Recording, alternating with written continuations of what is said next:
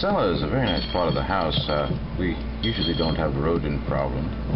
Uh, of course, there's a very good stockpile of old vineyard wines here. Uh, the architecture is very authentic. It's 15th uh, century. This was redone uh, a few months back. Mildred insisted on doing the work, and uh, we, we did pay someone to do it for us. It was a hefty pant, so it's very well done. I think you'll find that this is to your liking. Um, it's just the kind of place that you'd like to have. I'm sure as a summer house or some time to get away if you need to rent a, to a, a, relative or need for them to have a place to stay. Uh, it's a good place. Uh,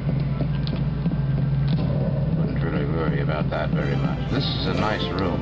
It's a good guest room. Very nice.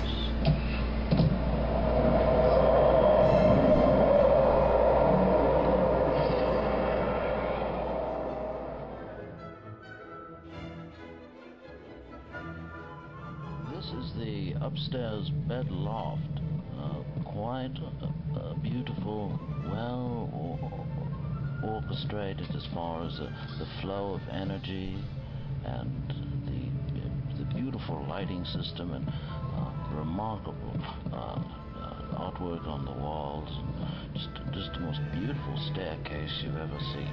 Um, you'll find that this glass design is quite interesting. It's Asian and uh, they made it on purpose missing panes uh, like every third pane would be missing to symbolize the third a plane of life.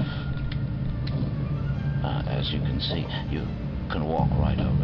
This is the master bath quarters that could be made here. A nice kitchen could be installed if you wished. Uh, the lighting system is very effective. Uh, the, it's very nice. They have a beautiful uh, desk is included. There's no extra charge for the shelving.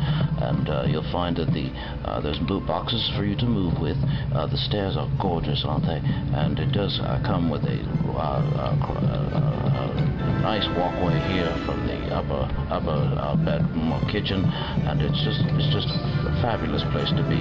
Um, I, I do think that you will love.